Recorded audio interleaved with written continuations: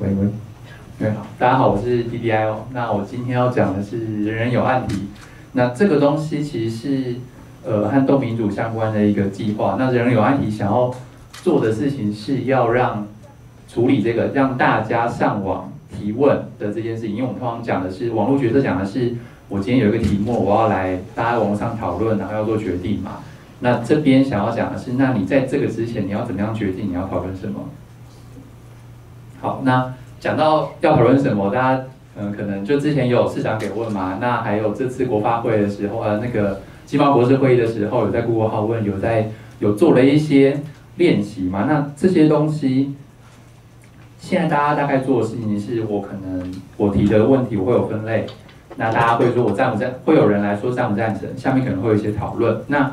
但这个东西他讲的其实都是对单一的提案，我对。今天有一个人上来讲了这个东西之后，我还说要不要，那赞不赞成或是反对？那我这边呃在想的事情是，你看，如果今天我假设这里面已经有一百个问题了，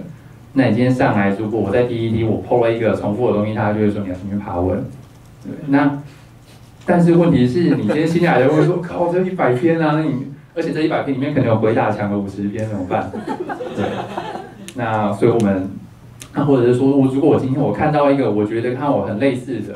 哦，我想要 fork 出来，我想要加一点东西或补一点东西，这个时候怎么办？所以这其实在讲都是，呃，今天每一个提案本身它不一定，我们不一定只是只能针对这个提案处理。那我们今天要怎么样可以拉出不同提案之间的关联？对，那这关联可能很多种哦。那可能是我今天是要类似的，我可能是补一些东西，我可能是要跟他提完全不一样的。对，那有可能是先后顺序的问题。对，可能比如说我要修正，我要提对案，那我可能是接龙啊。对我可能今天说，哎，我觉得这个 A 提案不错，那但是我觉得这个提案的前面或后面可以做什么？对，或者是我只是想要补充。对，那我们今天想，我们现在有这个概念，那我们今天其实呃想要是实际来操作，我们就真的找这个呃真的一个议题，比如说金贸博士会议或者是合适。可细的可以看我们 APP 上面，那我们希望就直接拿这样题目来出来这个东西。我们现在想要发展流程，所以欢迎是呃对这一种操作流程有兴趣的，或是你对这种网络讨论，或是你对这种呃想要来真的做这种尝试的人，就欢迎来找我们。那我会在报明组那边。好，谢谢。